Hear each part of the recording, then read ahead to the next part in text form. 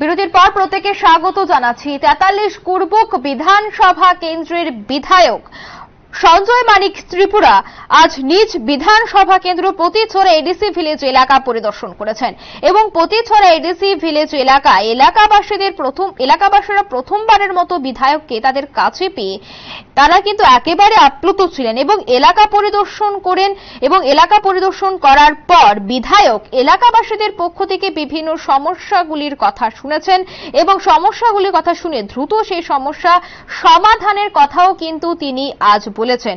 এবং বিধায়ক সঞ্জয় মানিক ত্রিপুরা। বিধায়ক হবার পর তেত্রিশ কুর্বুক এর যে সমস্যাগুলো রয়েছে সেই সমস্যাগুলি দ্রুত নিরসনের জন্য কিন্তু আশ্বস্ত করেছেন গোটা এলাকাবাসীকে। এবং এবারের বিধানসভায় তিনি প্রথমবারের মতো কিন্তু নিজ বিধানসভা কেন্দ্রের সমস্যাগুলি শোনার জন্য তিনি নিজেই গিয়েছেন, নিজেই পরিদর্শন করেছেন।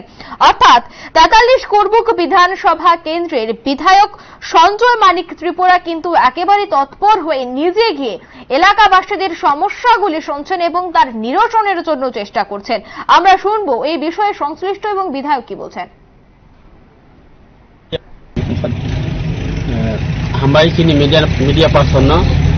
সংখ্যা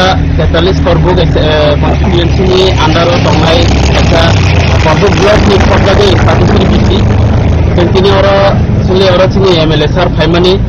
দীর্ঘদিন পঁচিশ বছর যে সিপিএम सरकारनि आन्दाराव दंमोनि जों अबहाय एम एल ए मायाखौ जों तिनि सिनि এলাকা, নিনি চান্দিরামনি হইতে ইয়াঙ্গ একদম জয়চন্দ্র পাড়া পর্যন্ত যত ফিল্ড ভিজিট থাইনাইখা বড় লামা কাহাম গরৈ তং বড় বড় লামা নাংনাই, বড় তৈ নাংনাই, বড় কারেন্ট নাংনাই, বড় বক্স কালবার নাংনাই আবনো जों এম এল এ সাহেব যতন ঘুরি নাইখা ঘুরি নাই নাই যথেষ্ট জন আশ্বাস বরিখা যে যথাসম্ভব আবনত ব প্রটেক্টর ডিপার্টমেন্ট সাবই আপনার সরকারনানি তিনি কবরী খা সুন খুব খাতম থাকা।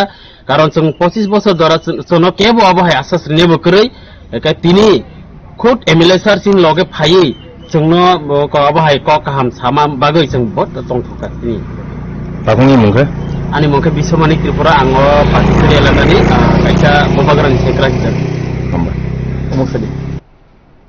আপনারা শুনলেন সংশ্লিষ্টরা কি বলেছেন? মূলত যে বিভিন্ন এডিসি এলাকায় যেসব সমস্যাগুলি বিগত দিনে ছিল, অর্থাৎ তাদের কথা অনুসারে বিগত দিনে যখন বাম সরকার ছিল, তখন যে ধরনের সমস্যায় ভুগেছে এলাকাবাসীরা, এবার সেই সমস্যা নিরসনের জন্য খোদ এমএলএ এবার নিজ বিধানসভা কেন্দ্রে গিয়ে সাধারণ মানুষ, এলাকাবাসীদের কথা শুনবেন, তাদের বিভিন্ন প্রয়োজনীয় জিনিসগুলির কথা শুনবেন এবং বিশেষ করে এসব এডিসি এলাকা, অর্থাৎ পাহাড়ি এলাকায় কিন্তু মূলত পানীয় জল এবং বিদ্যুৎ সহ বিভিন্ন সমস্যায় তাদের জড়িত হতে দেখা যায়।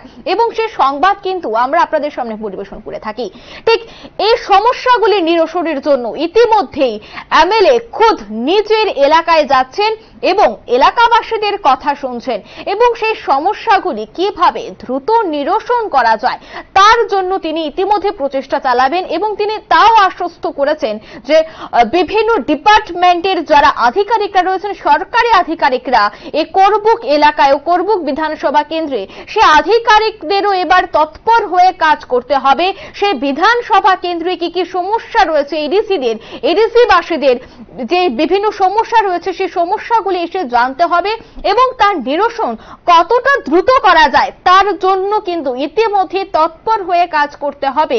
বিভিন্ন সরকারি আমলাদের, তার পাশাপাশি বিধায়ক কিন্তু এবার ঘরে ঘরে যাচ্ছেন। এবং যারা হতদরিদ্র রয়েছে, যারা বিভিন্ন সমস্যা থেকে জর্জরিত রয়েছেন, তাদের নিরসনের কথা এবার মাথায় রেখে কিন্তু তিনি আগামী দিনে কাজ করবেন।